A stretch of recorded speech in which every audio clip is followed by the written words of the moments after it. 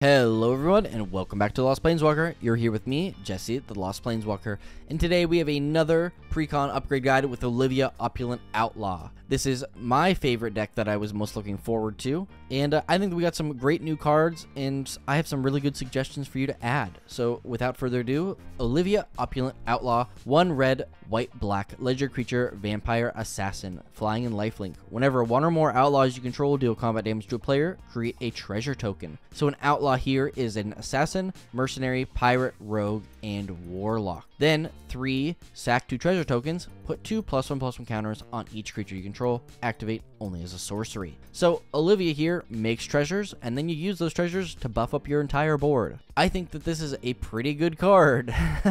um, you know, there's so many ways to just create a huge amount of treasures. So I think there's some really crazy things you can do, and this could become a very powerful deck. So let's start out by looking at those brand new cards. We got nine new cards, including Olivia. But before we do that, let's look at the other co-commander of this deck to see if he's worth playing instead of Olivia. He's not, but it's Vihaan Gold Waker. Red, white, black, legendary creature, dwarf, warlock. Other allies you control have vigilance and haste. At the beginning of combat on your turn, you may have treasures you control become 3-3 construct, assassin, artifact creature tokens in addition to their other types until end of turn. So he's pretty cool, actually. I mean, this is this is no by no means a bad card. It's just this deck wasn't set up to make the mass amount of treasures you want to make with him. You know, this makes a good amount of treasures, but not enough to kind of overpower the board. And all the other cards kind of care about Olivia's style versus Vilhan's just make as many treasures as possible. I would stick to Olivia, but let's start out by reading those first three brand new cards with the Angelic, Sellsword, Back in Town, and Bounty board. So Angelic Sellsword is 4 and a white creature, Angel, Mercenary, Flying, Vigilance. Whenever Angelic Sellsword or another non-token creature enters the battlefield under your control, create a 1-1 red Mercenary creature token. Then whenever it attacks, if its power is 6 or greater, draw a card. This is great. I think that Olivia loves this card. In particular, as soon as I saw this card, I said, oh, this is going in my Giada deck, which is the best Angel Commander in my opinion. Instantly, when this enters, it's probably going to be bigger than 6 power on its own. You're going to get a ton of other creature tokens to help you block, you know, whatever your opponents are attacking you with. Flying, Vigilance, you know, it's just great. So this is a really cool card. I think it's going to be worth a couple bucks because I think it's actually pretty powerful. Back in town is X2 and a black sorcery. Return X target outlaw creature cards from your graveyard to the battlefield. Yeah, I mean, this is what this deck was built for back in town. I mean, I'm sure you can find some other decks where, you know, getting a bunch of assassins or pirates or rogues, you know, could be a killer way to just kind of end the game. So I think that this is uh, pretty great. In addition, I mean, you're basically casting them for free. You know, for four mana, you get one back. For five mana, you get two. For six mana, you get three. You know, the more you put into it, the more you're getting out of it. And very quickly can you really outpace the amount of mana that you're casting versus the amount of stuff you get back. In Bounty Board, three generic artifact. Tap to add one mana of any color. One and tap, put a bounty counter on a target creature. Activate only as a sorcery. Then, whenever a creature with a bounty counter on it dies, each of its controllers opponents draws a card and gains two life. So maybe you make some people happy by putting bounties on a couple stuff. I know there were some other cards in the deck that put bounties on, so very cool. Next is Charred Grave Robber, Dead Before Sunrise, Indiscreet Retreat. Charred Grave Robber is 2 and a black creature skeleton mercenary. When Charred Grave Robber enters the battlefield, return target outlaw card from your graveyard to your hand. Then you could escape it for 3 black black, and Charred Grave Robber escapes with a plus 1 plus 1 counter on it. So this is a good way to recur stuff back to your hand if you need it later in the game. So I like that effect. Dead Before Sunrise is 3 in a red instant until end of turn. Outlaw creatures you control get plus 1 plus 0 and gain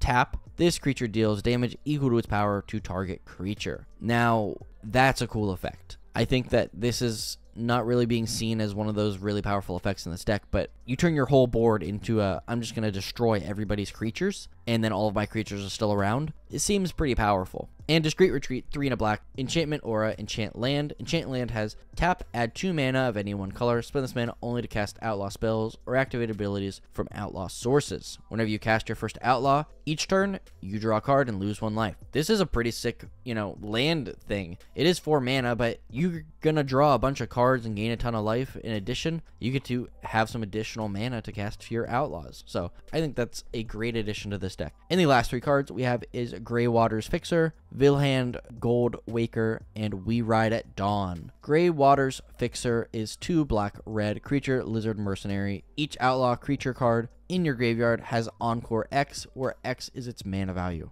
So the way Encore works is you can cast a spell from your graveyard and you basically create a copy that attacks each of your opponents. So yeah, I mean this could be a killer card at the end of a game. You know, you just need to overpower a couple opponents, just encore a bunch of stuff out. We already talked about Vilhan, and then we have We Ride at Dawn, 2 and a white enchantment, ledger creature spells you cast have Convoke, which is pretty good. And whenever your commander attacks, create a 1 1 red mercenary creature token with tap Target creature you control gets plus one plus zero until end of turn. Activate only as a sorcery. I can see we ride at dawn in some really legendary heavy matters decks because for three mana, being able to convoke out more stuff seems really powerful. But let's look at some of the cards I think you should cut from this deck. I got nine here. I just don't think these were worth including. I think there's some better things you could do in this deck than that. Some of these are going to be a surprise because some of these are pretty good cards, but I just don't think they work particularly well here. But before we do that, I just want to say if you aren't subscribed to my channel, please consider doing so. It would just mean the world to me and help me out. You know, we are probably already at 2200. You know, my goal by the end of the year is to get to 3000 or more. So if you would help me get there, it would mean the world to me. So thank you. So the first three cards I think you should cut.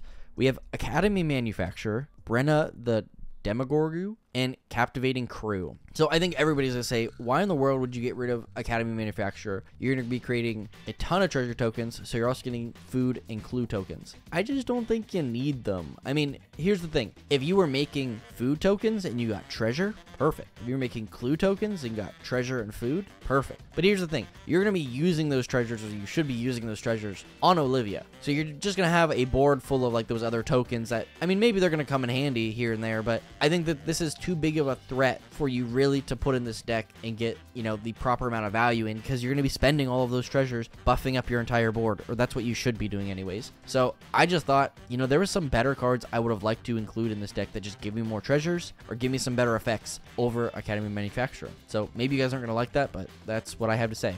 Brenna here, legendary creature Bird Warlock with flying. Whenever a player attacks one of your opponents, if that opponent has more life than another one of your opponents, attacking player draws a card, and you put two plus one plus one counters on a creature you control. I've played this card in decks before. It's just confusing. It's giving your opponents benefits. Um, you know, we don't necessarily need that in this deck, so I just don't really want this. And Captivating Crew, three in a red creature human pirate with three red gain control of target creature and opponent controls until end of turn. Untap that creature. It gains haste until end of turn. Activate only as a sorcery. Now, Captivating Crew is a pretty cool card, but in particular, we want to be attacking with, you know, our pirates and rogues and warlocks and whatnot. So unless your opponents are also playing those and that's what you're stealing, I just don't see the point in including this in this deck. In in addition, you're going to be spending a little bit of mana to do so. So Captivating Crew is definitely a good card and comes in handy in some spots, but I think there's some better additions you could add. Next up, we have Dire Fleet Daredevil, Grenzo, Havoc Raiser, and Hex. So Dire Fleet Daredevil is one in a red creature human pirate with first strike. When it enters the battlefield, exile target instant or sorcery from opponent's graveyard. You may cast that spell. Mana any type can be spent to cast it. If that spell would be put into a graveyard this turn, exile it instead. Yeah, I mean, it's good, but like I said, the main goal is not to be you know, taking our opponent's stuff. And that's kind of the issue with the two pirates here is they want you to take their stuff and use it against them. And that's not what we're doing. We're making treasures. We're making a big board. So Dire Fleet Daredevil can go goodbye. Grenzo, Havoc Raiser, Red Red, Leisure Creature, Goblin Rogue. Whenever a creature controlled deals combat damage to a player, choose one. Go target creature that player controls or exile the top card of that player's library until in turn you may cast a card. And you may spend mana as or mana of any color to spend to cast that spell. Grenzo's not bad either. I just think there's some better things in this deck that we want to be doing. Um, and Grenzo just wasn't it. And Hex here is 4 black black, destroy 6 target creatures. I mean, yeah, 6 mana, destroy 6 creatures, pretty good. Uh, there's just too much protection these days. You know, in addition, you know, if your opponent has six or more creatures that are really a big threat. You know, they probably have a lot more than that at this point, so I don't think Hex is going to do too much work. Humble Defector, Mass Mutiny, and Painful Truths are our last three cards. And we have Humble Defector here, one in a red, creature, human, rogue. Draw two cards, target opponent gains control of Humble Defector, activate only during your turn. Humble Defector is just gonna you know, give your opponents a bunch of cards. You're never getting this back, you know, probably in a game. If you're the threat and you just drew a couple cards and gave this to somebody, you're not getting this card back. So I don't really like it. Giving your opponents a lot of benefit is not really where I want to be. Mass Mutiny is three red red sorcery. For each opponent, gain control of up to one target creature that player controls. Until end of turn, untap those creatures. They gain haste until end of turn. There's just cheaper ways to do this, and I just don't like this effect. You know, like I already said with Captivating Crew, you know, what you want to get are outlaw cards, and unless, you know, there are outlaws, I really don't care. And Painful Truths is two in a black sorcery. Converge, you draw X cards, and you lose X life, where X is the number of colors of mana spent to cast a spell. There's already cards that guarantee you're going to draw three, lose three. So I don't think Painful Truths is the best version of that card by any means. But now let's look at those cards I think you should add, and I think there's some really cool effects in here. But first off, we have Archpriest of Shadows, Body Launderer, and Brass's Bounty. Archpriest of Shadows has backup 1, meaning you can put a plus 1 plus 1 counter on a creature, and then it gains the following abilities, which are Death Touch, and whenever this creature deals combat damage to a player or battle, return target creature card from your graveyard to the battlefield. So Olivia obviously has flying and lifelink. Now give her death touch, and then when she deals damage, you're going to get stuff back for free. I love that effect. I think that this is a really cool ability. You know, you can use it at a certain point in the game. Death Touch is just really great. Or just put it on like a small thing, and somebody's like, well, I have to trade my big creature for your small thing, so just get something back instead. I think it's cool. Body Launderer, two black black creature, ogre, rogue with Death Touch. Whenever another non token creature you control dies, Body Launderer connives. Then, when it dies, return a non rogue creature card with equal or lesser power from your graveyard to the battlefield. Unfortunately, not rogues, but there are a ton of other card types in this deck, so I think that this is very cool. And Brass's Bounty, 6 in a red sorcery. For each land you control, create a treasure token.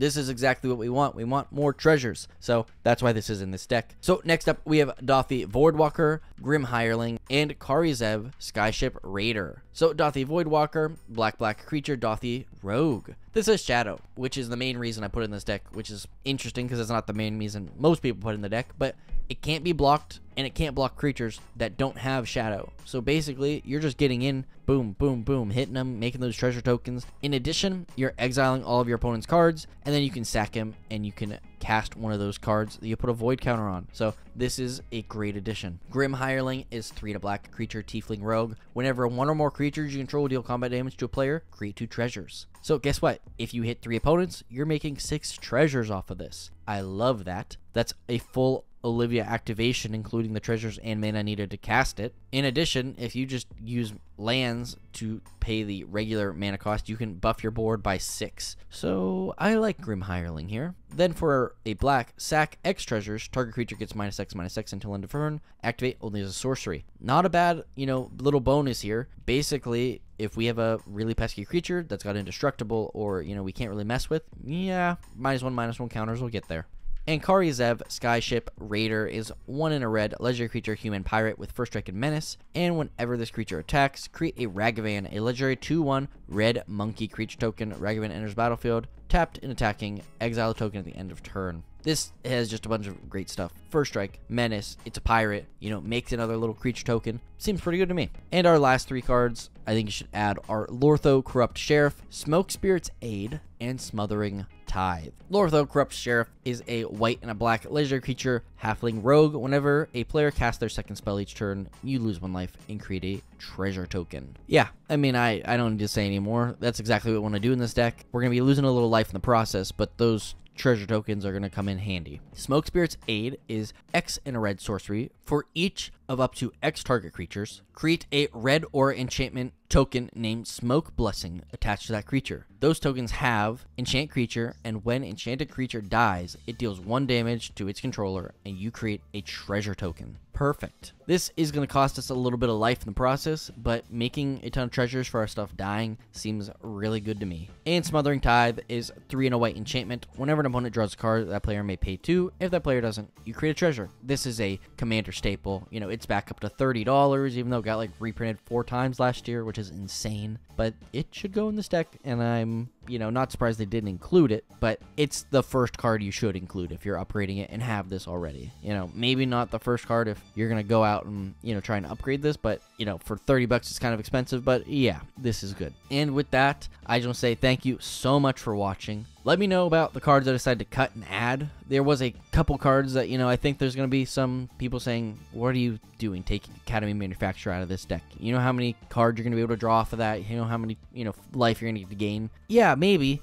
But I'd rather have a Grim Hireling over an Academy Manufacturer, or a Dauthi Voidwalker, or Lortho, or, you know, any number of the cards I added. So, really, that's my mentality, and if you don't agree, please let me know. I would love to hear your opinions. You know, in addition, you know, what else do you think should go in this deck? Are there any cards that I didn't mention that you're like, oh, come on, dude, this should have gone in this deck? Let me know. I love to hear about those because, you know, I do my research and I, you know, try to do pretty thoroughly, but I love finding things that you guys, you know, suggest that I've never heard of before. In addition, if you would please, you know, leave a like, share this video with a friend, and subscribe. It really does help me. You know, we all say this on YouTube because it does actually help and, you know, get us out to more people and just means the world to me. So thank you, thank you, thank you. So today's Scryfall card of the day is Moon Sprite. I am that merry wanderer of the night, William Shakespeare, A Midsummer Night's Dream. Thank you so much for watching, and as always, I'll see you later, Planeswalkers.